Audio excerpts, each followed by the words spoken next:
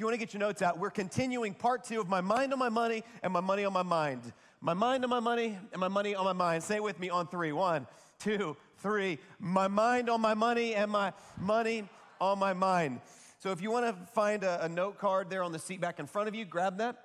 If you'd rather take out your phone and follow along digitally, you can go to lifepointnow.com slash info, where you'll find all of our notes for today's message. But last week we started this series, and I don't have time to, to do much of a recap, but we acknowledged the simple fact that for most people, for most of us, money consumes way too much of our brain space.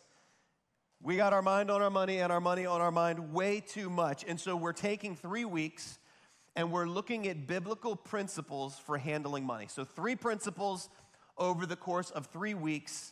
I gave you principle one last week, and it's simply this God is the owner. I am the what? I am the manager. Until we understand this principle, nothing else in this series is going to make sense. God owns it all. I manage some. If I'm faithful with what I manage, God will entrust me with more. If I mismanage what God has given me, why would He ever entrust me with more? Bottom line. So now you don't have to go watch the message. But if you'd like to hear more about it, go to our YouTube channel. You can check out more on that. Let me give you principle two, and we'll dive into it today. Principle two is this when it comes to biblical principles for our finances, number two is this a little planning goes a long way a little planning, write this down, goes a long way. The Bible tells us in Proverbs 21, verse 5, that the plans of the diligent lead to profit as surely as haste leads to poverty. Notice the plans of the diligent lead to profit, but when we're hasty in life, they lead to poverty. Now, one of the reasons I believe that our minds are on our money and our money's on our minds is because we find ourselves like we're just not confident about our money. We aren't sure where it's at. It's like, I thought I had some. I thought there was some in my wallet. Let me check my Venmo real quick. I don't know if I have any. We're not sure where it's at. We're not sure when it's going to be gone. And we really don't even know where it went. So we find ourselves thinking about this quite a bit. And so here's what I want you to know jot this down to get our mind off our money, we need to get our money on a plan.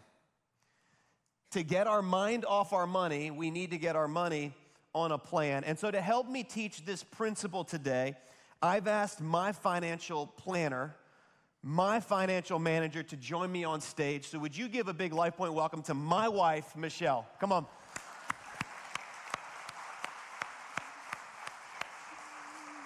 Thank you for joining me, babe sure. If we can share some embarrassing things about our life, it yeah. helps some people maybe not make those choices themselves. Yeah, you can clean up everything that, I've, uh, that, that I say wrong. Um, so, for those of you that have not had the chance to meet my wife, this is my wife, Michelle. And so this summer we celebrated 25 years of marriage. Let's go. Yeah, that's a long time. Boom. 25 years of awesomeness. Okay. Will you give That's me funny. like 17, 18 years of awesome? 18 years has been There we go. Good. There we go. Yeah. Any married people back us up on that? Like, it, it's not all good, okay? You said better or worse, and you, you didn't mean it, but you had to get yeah. through the worse to get through the better. There's a lot of worse. There was a lot of worse. yes. Is there anything else you'd like to say about that? it's so much better now. I think the biggest issue was what we're talking about our money.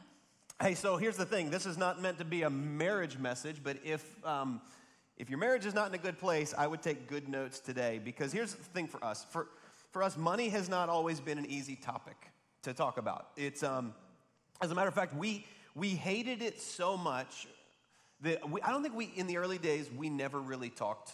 I don't remember having any conversations about money. So when we got married, would you say we, what, what kind of a plan did we have? we didn't have a plan. Okay, so there's. That's why we. But all right, but but I, but for good reason though. Let me explain up until this point, we didn't really need one. Like, I mean, when you're dating, who needs a plan when you're dating? Dating was so easy, wasn't it? Like, one of the misconceptions in dating is that, that things just work. Like, we never lacked things to talk about, communication came easy, we had the same interests. We, uh, you know, I remember coming up with creative date ideas. Like, yeah, I used to write me poems. I was all I was songs. a mad lyricist with my poetry. so it was good. We would buy thoughtful gifts for each other. I mean, you, you'd, th- you'd find yourself thinking things like, how, how did I find the one person that's so much like me? Which is, uh, uh, you know, amazing. And we would rarely disagree on things. The topic of money never really comes up when you're dating. We had like little to no bills, if any, back then. And, and of course, you know, you're in, we were in college, so like it felt like you were busy, but let's be real. You had 15 hours of classes.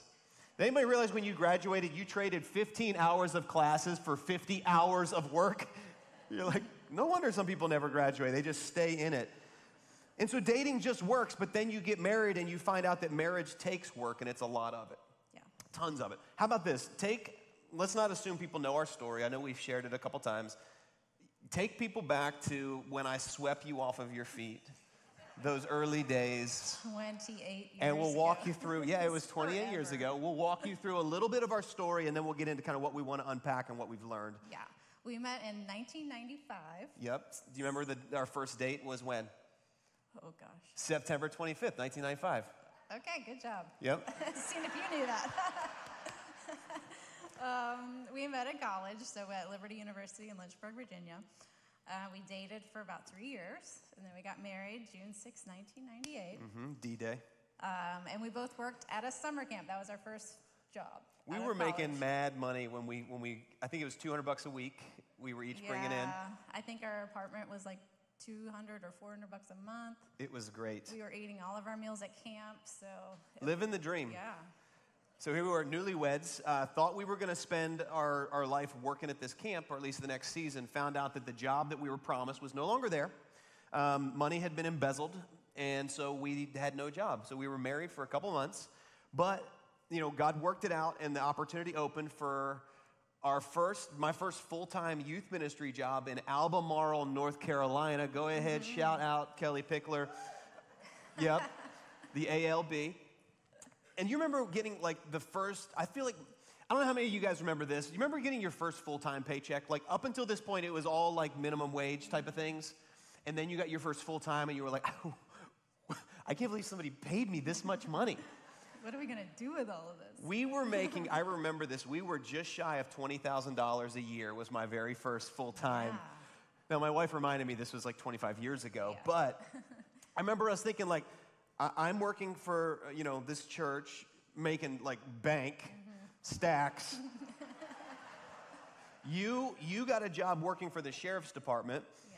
and um, we had, you know, we, we had this rental house that I think was what, about 450 bucks a month. Mhm. And the only debt we had was my school loans. Yep, That was it. that's what you brought to the equation. And we were like, what do we need? We need more debt, right? Well, I don't even know that we were. We definitely didn't. Nobody says that's what they need. But do you remember when you're like making money and you're, you're thinking like, I can finally buy those things that I've always wanted? And so the thing that I had wanted, now mind you, I'm living in Albemarle, and if you're a dude in Albemarle, you gotta have a big truck. You know, if you ain't got a truck, you ain't nothing. So I remember like, it, you know, we, we had to get a truck. I remember finding this, um, this Chevy Z71. It was $24,000. We had so much to tow and carry in that truck. Well, I didn't necessarily need it for like work related things. I needed it just because. You guys know I'm talking about. So we buy this truck, which turns out to be dumb decision number one that we made. And I'm not, don't worry, we're not going to give you all the dumb decisions because we would be here for days. Dumb decision number one, we bought this truck. And here's why the reason it was a dumb decision. We, we didn't, we had no plan going in. We hadn't counted the cost at all. So we get this truck. It was about three months later that, like, I mean, do you, have you ever put gas in a truck like that? Holy cow. The gas was outrageous. The car payment was, eh, you know, because we thought it was going to be this, but when you left, it turned out to be this. The insurance, it, we kept that truck for three months. We drove it to another dealership and we traded it in on a Honda Civic. So clearly, my man card was cashed in. But here's what, what happened is so we traded, we downgraded, and we, we inherited or we earned what's called negative equity. You guys know what that means? That means you owe more on the asset than the asset is worth. So you can never sell the thing and actually get out of debt. Yeah. And that started creating issues in our marriage. We started feeling a tension that was new to our relationship, arguments about money. I remember, like, why can't I buy this? And she's like, well, because you, you already spent that money. And I'm like, but, but I earned it. I mean, it, to me, it was a lot of money coming in. And it wasn't, I mean, that truck was a huge decision, but then the rest of them that kind of got us into a bad, bad habits. I mean, it just happened over time slowly. It wasn't like, it was like death by a thousand cuts. It wasn't Yeah. like one massive, it was just a bunch of little things. And like, I, I just remember, um, because for, for me, my first, my first job was when I was 15. I told you Bed Bath and Beyond. And so when I started working, I didn't work because I had to. I worked because there was just things I wanted to buy. And so when I got a paycheck, guess what I did with it? Whatever I wanted. Well, here I am getting my paychecks, and I can no longer do what I want. And that was, a, it was like, does not compute. this doesn't make Yeah. sense to me. And so we got into this where we started hoping, like, um, we hoped that our check would get deposited in the bank. I know you guys have never been in this place, but we hoped our check hit the bank before our bills had to be paid. Does anybody know, play this game? yeah, Now, the good news is the, the bank, we were with Wachovia, which I don't think they're around anymore, No. RIP. They loved us so much that they would actually front us the money if we didn't have money in the account. yeah, overdraft. They'd send us postcards every month. Yeah. They loved us. And it, it was like a hundred dollars this month, a couple hundred dollars the next, like over time. But we got introduced to credit lines Yes. at that point. Yeah, so, but then here's what's crazy is in the midst of all of that, we managed to qualify to buy a house. So we did. Yeah. And then we had our first kid, which they're expensive if you've ever had one of those. Um, I read recently to keep your child, uh, you know, from birth to 18 is actually now over $300,000. Yeah, some of you were like, okay, we were thinking four or five, two is good. I'm just saying they're expensive. So we had a kid, and because, you know, you have one kid, we might as well go ahead and have another kid. So then we had another kid. And you know, you start having kids, you know what you got to get, right? Minivan. We have to have a minivan. Got, you know, my wife can't be putting the kids in the back of this car. And, and, and so this whole time, we never knew how to talk about money. Our marriage was struggling because apparently it's hard to be intimate with somebody that you resent. Yeah. Who knew? Well, my background was accounting. I started working when I was 10. I babysat, I did people's ironing, I cleaned houses.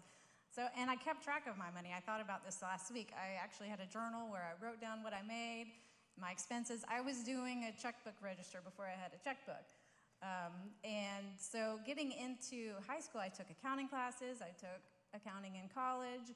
And so, part of this was understanding that, well, feeling like it was my job to set this budget up and get I our felt that way in too. order. I felt that I was. know you did. I was like, we're gonna be so good because she's good with all this stuff. But then when you start having kids, you just forget about it, and this is something we never talked about. There's a lot of shame in it for me because I'm like, I should know better. I know she should know how to do this. Yeah, you should have known better. I, Is what I was thinking too. That's what I got from you, and that's why the resentment. You know. Well, but so it was. It was. It was a. It was a. Some dark days. Some cold, lonely days in Mm-hmm. I our wasn't lonely, relationship. I was fine. I Everything was- was, fine. How does- we still don't know how we got three kids out of this season of our life. I'm just being honest. I don't know. I want to believe our children were conceived out of passion, but it might have just been pity. I don't know. we, we love you guys, though. You might watch this at some point. Here's, here's, here was our issue, okay? Lots of issues. So, so but fast forward, we got three kids. We feel like we're buried under bad decisions after bad decisions. The trouble was, we worked at a church. Where do, who do we talk to about this? You know, we, we, we got to pretend like everything's fine and pretend like everything's good, but it wasn't. And the Bible actually says this in Proverbs 13 7. I definitely resonate with this. One man pretends to be rich, okay? One man pretends to have it all working for them, going, going, you know, great. One pretends to be rich, yet has nothing. Another pretends to be poor, yet has great wealth. Can I tell you, it's never been easier to pretend that you've got it all together. Thank you, social media. You know, hashtag real life, hashtag blessed. It's so easy to pretend that, that we are in a good place when the reality is the stats say that a lot of us are not. And so that's the mess that we found ourselves in. So we want to give you four thoughts about getting your mind off your money. If you want to get to where it is not so consuming, let me give you four thoughts that, that we've had to walk through, and in some cases, still walk through. So, number one is this acknowledge the obvious. Write this down. You have to acknowledge the obvious. Like, if your current financial plan is working, awesome, keep working it. But if it's not, admit it, acknowledge it. Anybody remember the movie Apollo 13? Everybody remember seeing this? Tom Hanks was in it. It was a real story, real story. Well, the, the back story on, on the, is this April 13th, 1970. 56 hours into this mission to the moon, oxygen tank number two explodes, causing damage to the control module. And command module pilot Jack Swigert, his voice comes over the radio, and here's what he says Houston, we've had a problem here. Houston, we've had a problem here. Six words get transmitted over the airwaves. And in these six words, these six words lead to what ends up saving their lives. Because they took an honest assessment and said, We've got a problem here. And I wonder how many of us need to take a real honest assessment of our finances in radio in Houston. We've had a problem here. Instead of saying, It's fine, everything's fine, we're gonna be fine. I love the meme of the little dog, you know, the cartoon dog and the house is on fire. It's like, It's fine, everything's fine. How many of us are saying it's fine when it's not? We're pretending that it's fine when the reality is it's not. Because here's, here's what we've acknowledged last week, and let me just reiterate it. Everybody deals with this. Okay? Every single one of us deal with the tension when it comes to finances. Financial stress, we're told, is normal. We're told that it's, you're, supposed to feel that way. You're supposed to feel like it's always going to be tight. Like that's normal. That's what, that's what culture wants you to believe. I found this article on lendingtree.com, and it was ranking our nation, our states and our nation based upon credit card debt. Praise God, we're not number one, okay? Number one is Connecticut. I don't know if anybody online is joining us from Connecticut, but y'all better cut up those credit cards because they say the average, uh, the highest, the highest credit card average is Connecticut with $9,408 on a credit card if you're in Connecticut. Okay, that's average, so some are higher, some are lower. North Carolina, we are 28th in the nation in credit card debt with $6,955 is the average credit card debt for adults in North Carolina. Now, what's crazy is, you know, think that most of those are 20, 24% APR. I mean, that's gonna, that's a load of money, and yet we're told this is normal. We're told there's nothing wrong with this. Yahoo Finance reported that 49% of Americans, let's just call it half of Americans, depend on credit cards to cover essential living expenses. And yet we tell ourselves it's fine, everything's fine. But I know for us, everything wasn't fine. And we didn't know how to talk about it or even what to do about it, so we just accepted it. We accepted that this is going to be what life is like. You know, the Bible tells us in Proverbs 22 7, it says, The rich rule over the poor, and the borrower is slave to the lender. Would you say that's how we felt? That's how I felt, yes. Would you care to, care to expound on how you I, felt? I felt that, um, well, first of all, we didn't know how to talk about stuff, so I felt like you didn't care, and I was carrying the weight of all of this debt um, myself. Um, and so, yeah, I definitely felt like a slave. So, and I think when I finally got clued into the to the problem, which to be honest, I mean, we did not talk about it. So there were just things that like I I, I went on shopping sprees, guys. Let's just I'm just gonna own this here, okay? Like I remember I bought a I bought a Taylor acoustic guitar. My guitarists, you know, those are great guitars. But here's the deal: it was like it was like three months, zero percent financing, same as cash. I can pay this off in three months, right? Because I'm making so much money. Mm-hmm. Trouble is, is I didn't and so when that interest hits, it, it hits it hits hard. And then I got around a bunch of people that were into like hunting and guns. Well, I, I you know, I got to get one of those or two because um, you need a backup. And then, you know, I was with a bunch of pastors and they played golf. And I can't borrow golf clubs, I can't use another person's golf clubs. So, you know, these golf clubs, these my, you know, I was told these are really good. I'm saving money on these golf clubs, is what I'm, you know, it's, it's like $300 off. So it's practically free. And so now it wasn't like I was doing this all in a week. It was spread out, but I wouldn't even like I wouldn't even tell her about it. I would just they just show up. She's like, "When did where where whose golf clubs are those?" If you've ever been secretly hiding purchases from your spouse, warning, warning, Houston, we've had a problem here. That's where we were at. Now, I, I want to say something about debt because the Bible does address debt, but I want you to tell you, it, based upon my studies of Scripture, it's not wise. But I also want you to know debt's not sinful, but it can be stressful. And so I'm not telling you that you should avoid it at all costs, but I am telling you that if you don't have a plan, you better avoid it because it will jump into the driver's seat of your life. And so, so question to, to you, babe. Looking back, we're talking about acknowledging the obvious.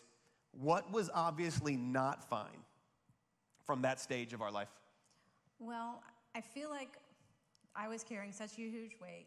I would try to talk to you about it. We would always get into arguments. Um, we had kids at that point, and so I just felt this huge weight all the time.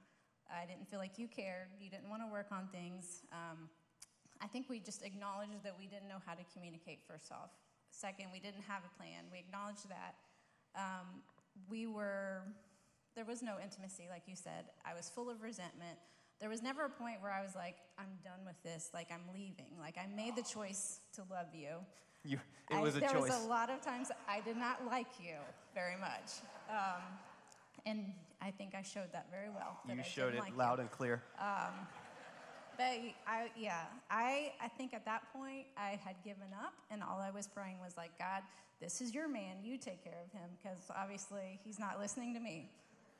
So, Well- what, what about you? Like, So here's what's crazy is, is she's over here praying like, God, you got to do something. And, and God's really good about getting the message. We're, we're just not always good at receiving it. And so I remember um, Pastor Daryl and myself, as we were getting, getting uh, Life Point Church started, so we went to a conference that was down in Atlanta. It was called Catalyst, and Dave Ramsey was doing a session. And I just remember thinking, like, I'm going to skip out on that because, I mean, I never heard him speak, but he's a financial advisor, and I just, you know, most finance people I know are just kind of snooze fest, so I'm going to skip it. Praise God, I didn't. I sat through this, and can I tell you, it was like a switch got flipped inside of me, and something, something changed where I, I he talked a lot about having a picture of what life could be if you weren't a slave to debt. And I just remember feeling like the reason that we're, so, we're struggling so bad is we're sending so much money to debt every single month. And I started realizing, like, if we weren't sending all that money to debt every month, we could be saving, we could be, you know, there's things we could do. We, we weren't able to do vacations. There was just stuff that we couldn't do because, quite honestly, we'd already spent that money. I'd always made, I'd already made bad decisions. And I remember before I ever left that conference, I called her and I said, when we get home, can we talk about money? I listened to Dave Ramsey, and, I, and something's got to change. And so I make this phone call, and what, do, like, what happened in you when you heard me say, Can we talk about this? um, I felt like a weight was lifted off of me. And it was just a phone call, like nothing had changed yet. We were still in debt, we still didn't have a plan. But I think knowing that we were on the same page, we were finally unified about our finances, just took a huge weight off of me. It was big, and we, we are very different. Uh, Chances are, if you're married, you married somebody that's different than you. Those of you that are dating, I know they're like, oh, they're just like me. No, they're not. They are not, okay? They're putting their best foot forward and they're pretending to like everything you like, and you don't get the worst until you get married, okay? In a relationship, there's almost always, almost always a saver and a spender a not so fun person and a fun person, okay? It's just, it happens. My wife is the saver, and as you can imagine, I'm the fun one.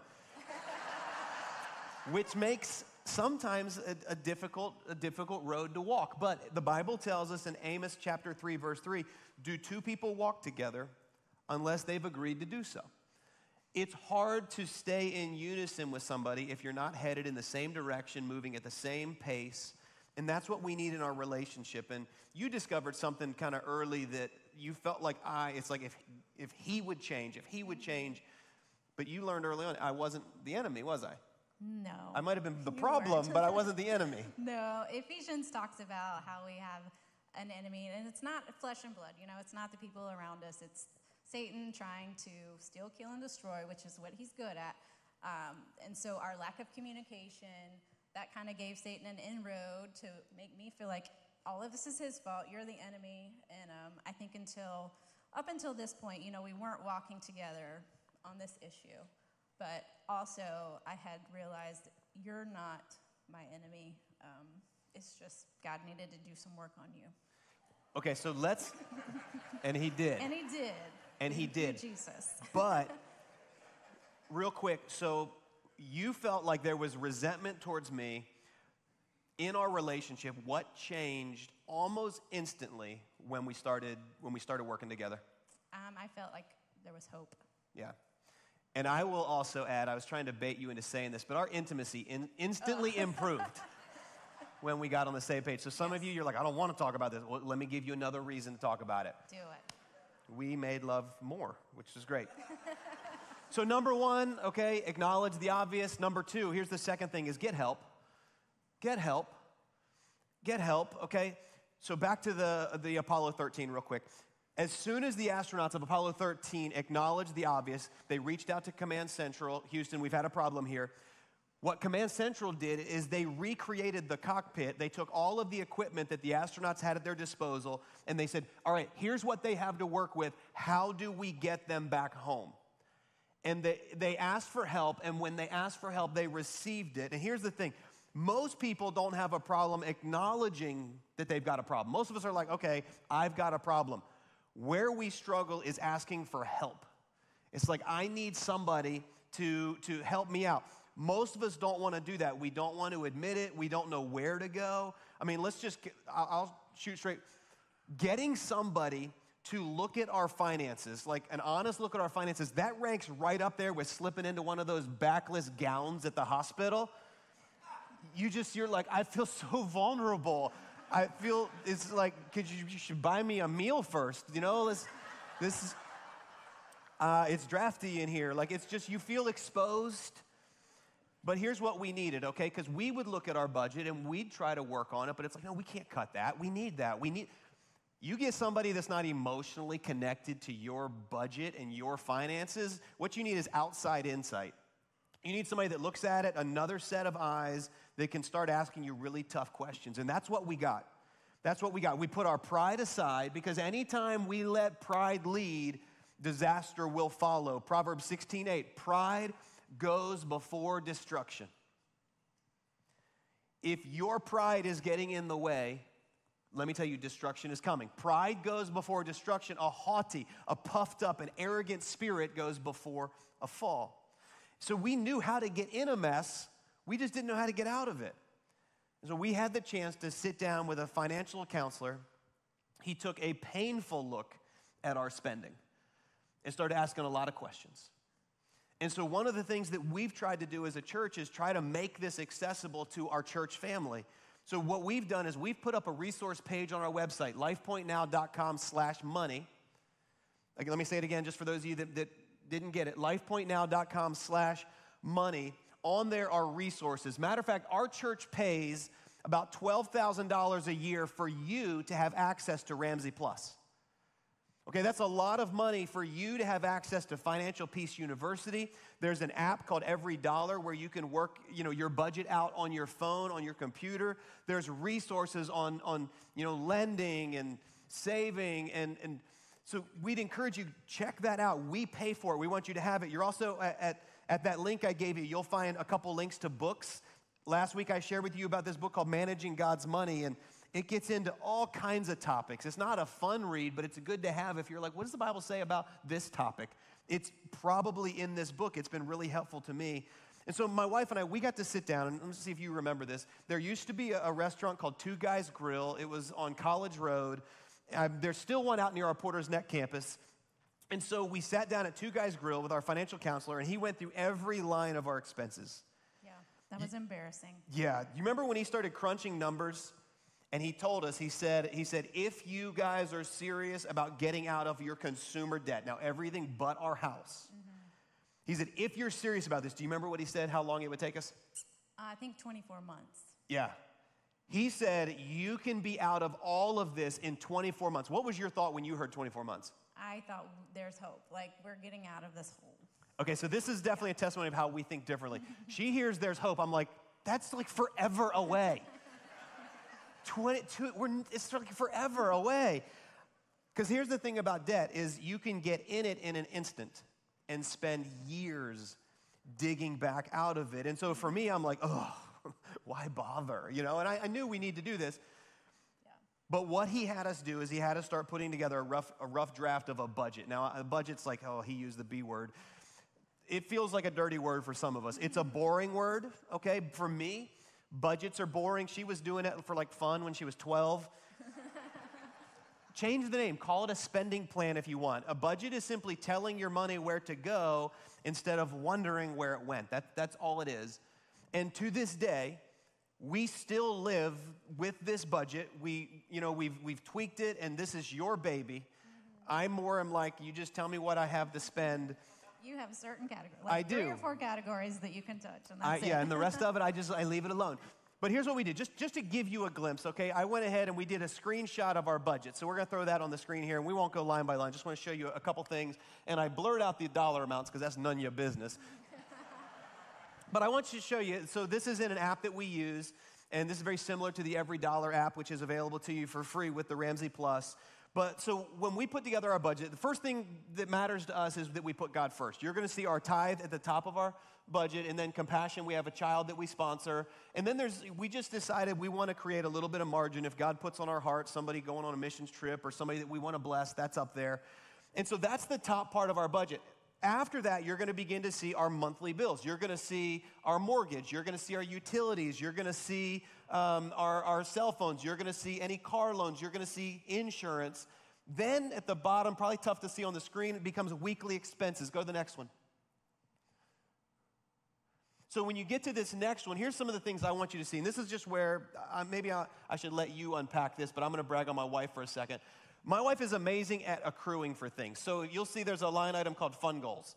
And so, you know, saving towards a vacation or like Top Golf is on there. She has been wanting to go to Top Golf with our family forever. Okay, Top Golf is not going to break the bank, but it's unfortunate I blurted out, but uh, you put like $20 a month, I think, like ten dollars a month. Okay, ten dollars a month. I know that that uh, she wants to do an escape room with our family. Every month, she sticks ten dollars into this account so that we can go do this escape room as a family. Now, we could easily just wait and be like, you know what, we're just going to pull that out of the budget. It's fine. But my wife's saying, you know what, we're going to do this someday, so let's put it in there today. And then go one more uh, to the, to the third. The other things you're going to see, like at the top, tire replacement. I mean, have you guys discovered that every couple years you got to get new tires for your car?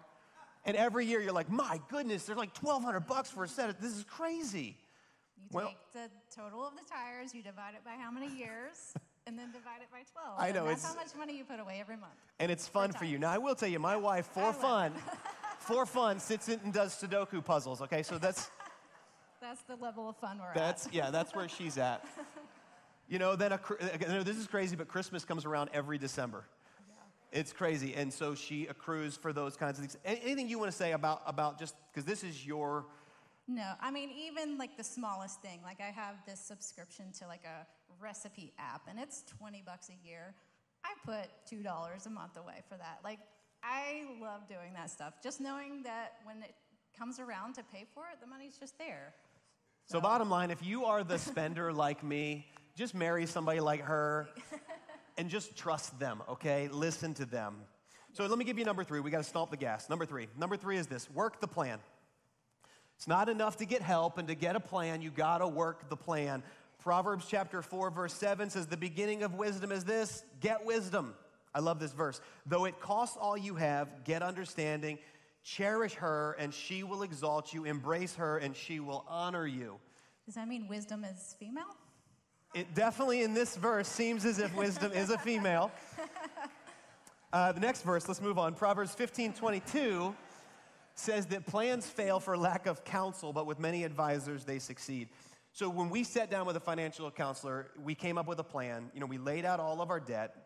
He had us put them in a specific order. Dave Ramsey calls it the debt snowball, so we could maximize our payments. And we, we cut all non essentials. Like we stopped going out to eat. We cut off, you know, cable. Um, And Dave Ramsey says, live like no one. Now. live like no one else so that someday you can live Yeah, like no one like else. We said no to just about anything that didn't get us closer to our goal. And then we printed off these pictures of our debt. They're called debt payoff spectaculars. Actually, I actually have a picture of our fridge from back in this day. This was the fridge if you came over to our house. So there's our fridge. I mean, you can tell our kids were young. We got magnetic letters on the fridge. But what you're seeing, those pictures that are colored in in red, uh, one over here is our credit card debt that we owed. There's our overdraft, the oops, we spent money that wasn't in the bank. Thank you, Wachovia. Then there's Michelle's college loans and the minivan. And so every month when we would pay our debts, Michelle would take out this red marker. She's like, Are you ready to color? I'm like, I love the color. and she was, she's like, You get to color in 47 squares. I'm like, Yay. and, and as a matter of fact, there are actual YouTube videos. If you search long and hard, you'll find me like, guys, it's debt payoff time. And I'm like coloring in. And uh, you'll see my kids when they were younger. Yeah. Matter of fact, there's a picture of when our minivan got paid off. I was so excited. Here, here I am. Look at me, you know, so young. Paid off our minivan. Because here's the thing I needed the reminder we're making progress.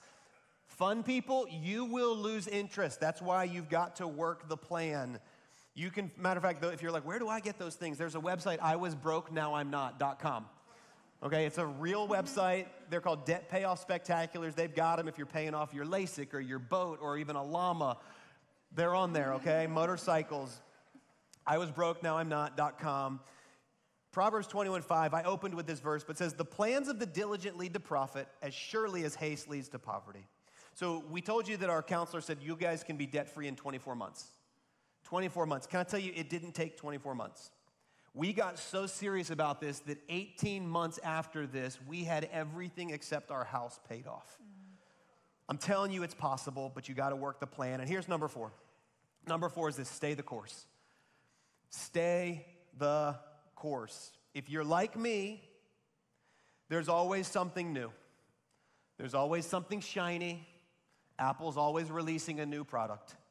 Whether it's a new watch, a new phone, a new car, some new Jordans, new hobbies. I love that new, new. And if I get around you and you're passionate about something, I want to get into that as well. You've got to stay the course. You know the story of the tortoise and the hare, right? The tortoise and the hare. Which one wins? The tortoise. Why? Because the hare is constantly leaving the course, but the tortoise stays the course. Just recently, I actually slipped into my old ways. This is a confession time. Just recently, there was a man, I wanted a new watch. All right, wanted a new fitness tracking watch. I wanted this Garmin. I took to the internet. I said, Internet, Instagram, you tell me which is better. And you guys were like, You need to go buy the Garmin. I was like, That's what I'm doing. So I did. I bought it, and I told myself, I was like, Not a big deal. I don't have the money right now, but I've got something for sale. And when that thing sells, then I'll have plenty of money and I'll be able to pay for it. So I'm going to buy it now. And you're like, Yeah. And my wife is like, Oh, did you get a new watch? And so clearly I hadn't run it by her. And I was like, don't worry, it's not a big deal because when I sell this, then I'll have the money to pay for that. And about two weeks went by, and I put this on a credit card. I have a credit card for just a few things, and we pay it off every single month. And so I do every month. And so I'm getting close to uh, realizing I gotta, I gotta keep or get rid of this thing. So either I beg my wife, be like, honey, just you know, let this slide one time. Let me borrow from the house. I'll pay it back you later. You didn't beg, but you did try to finagle some. I did, and you didn't let you didn't bite No, at all. I didn't. You were at no time were you like, honey, I understand. You should just keep it. No. And then I was like, then it dawned on me that I'm going to actually be preaching on money real soon. And I was like, I can't tell. I got to practice what I preach. So quite honestly, I'm blaming you, Lifepoint, for why I couldn't keep this watch. I had to send it back. Hope you are happy. And I sent it back because I realized that, you know what? It's been a lot of decisions over the years to stay the course. 1 Corinthians 9:24 says, "Do you not know that in a race all the runners run, but only one gets the prize? Run in such a way as to get the prize." You know, winning in your finances, it's a marathon, it's not a sprint. It's, the, it's making the right decision today and tomorrow and the next and the next and the next and the next. Working the plan isn't sexy, but getting out of debt sure is. Matter of fact, how about this? We'll end with this. What changes have you seen or have you sensed in our family since those dreaded days of old? Um, we were we never went without. Like God's faithful. He always provided, no matter the season, no matter the hardships. Um, and the stress was real. Like it feels like a huge weight on your shoulders. If if that's you and you're carrying it, you know what I'm talking about. Um, just getting on the same page, brought a peace. Um, having a plan brought hope. But um, just in our relationship, it's reignited intimacy and trust. Um, I don't resent you anymore. I like you a lot. That's good. How much do you like but me? it's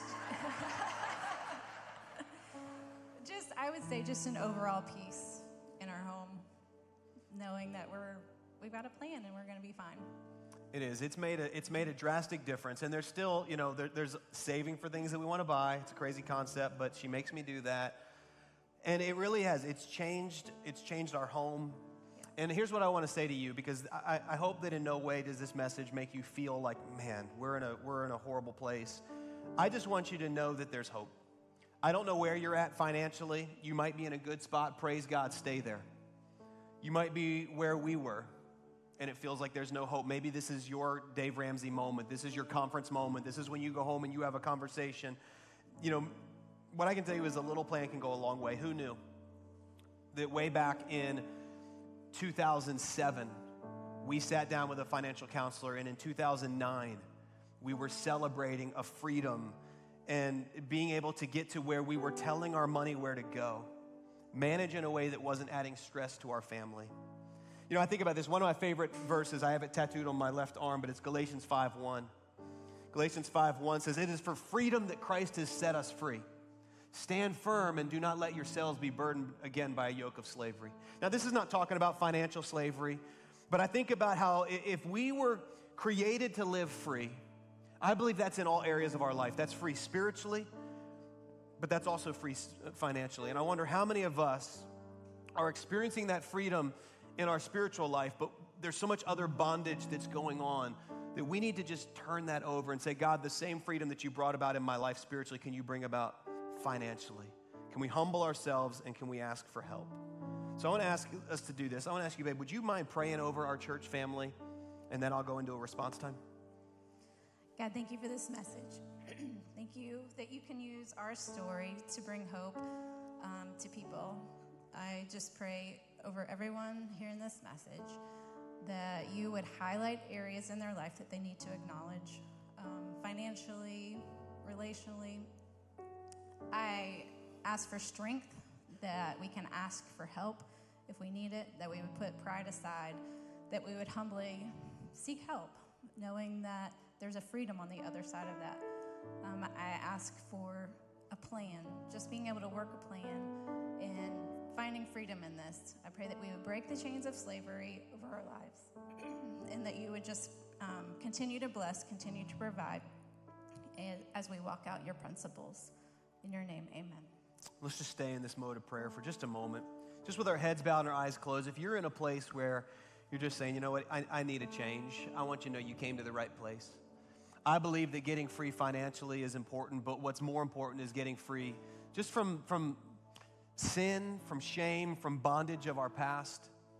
And I'd love to give you the opportunity today. If you're here and you would be honest, say, I don't know Jesus as my Lord and Savior. You know, the Bible tells us that the wages of sin is death, but the gift of God is eternal life through Jesus Christ our Lord. That there's a debt that we all have, but we don't have to live with. The Bible says we can experience a freedom from that sin, and it's because of what Jesus did on the cross. And so, if today, if you've never put your faith and trust in Jesus, would this be your opportunity? Right there where you are, with your heads bowed and your eyes closed, I want to lead you in a prayer where we repent of our sins and we put our trust in Jesus. And if this is the decision that you're ready to make, it's declaring that Jesus is the Lord and Savior of your life. And I invite you to make this prayer your prayer. You don't need to pray it out loud, but you do need to pray it with sincerity. And so, from the quietness of your heart to the very heart of God, would you make this prayer? Say this, say, Dear God, just in the quietness of your heart, Dear God, thank you for loving me. Thank you for forgiving me of my sins. Thank you for Jesus. I put my trust in Jesus today. I repent of my sin and I give you my life. I ask you to be my Lord and my Savior. Fill me with your Holy Spirit. Save me today. Change me and help me to live for you. Say this say, Thank you for saving me. Just for a moment across campuses with heads bowed. If that was you today, I want to count to three. And when I get to three, I just want you to raise your hand high in the air, simply indicating that today you said yes to Jesus. and then we want to celebrate with you. And so if that's you on the count of three, would you raise your hand high? One, two, three, right where you are, just saying, That's me today. I'm saying yes to Jesus. I'm putting my trust in Him. I see hands here at our Pine Valley location. To my left, here in the center. Just for another moment, if that's you, I want to see that. I want to celebrate with you. While your hand is up, one of our team members is bringing you a Connect card. They're going to put that in your hand, and our host will give you some instructions on what to do with it. If we miss you, there's a card on the seat back you can grab. Let's do this. Let's put our hands down. Can we celebrate together, church? Come on.